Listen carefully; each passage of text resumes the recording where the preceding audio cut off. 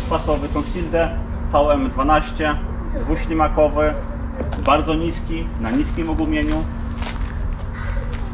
przeznaczony do starszych budynków, wyposażony w magnes do rzeczy metalowych, żeby krówki nie zjadły.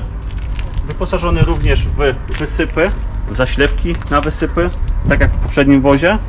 Można sobie konfigurować wedle życzenia. Może mieć wyposażony, być wyposażony w 5 wysypów, może być wyposażony w jeden.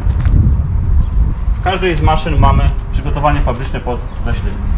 Tutaj klient zażyczył sobie naprzemiennie wysypy po przeciwnych stronach. Tak chciał, tak ma. Maszyna dwuślimakowa, 12 m3, może być zagregowana ściągnikiem przysłowiowych 60 koni.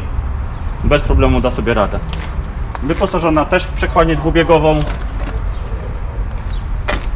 Stopa mechanicznie podnoszona. Zbiorniki z olejem do przekładni.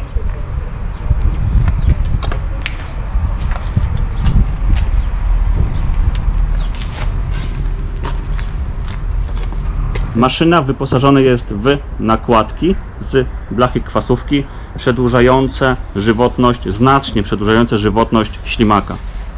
Jest to element wymienny, ścierny, a sami wiemy jak kwasówka się ściera.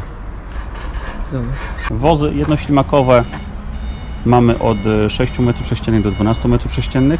Wozy dwuślimakowe mamy od 12 m3 do 24 m3 na tandemie lub na jednej osi, kwestia potrzeb.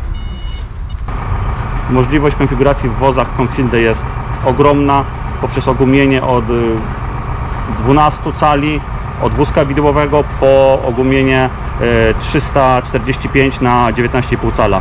Kwestia pojemności i wysokości, jaką chcemy osiągnąć.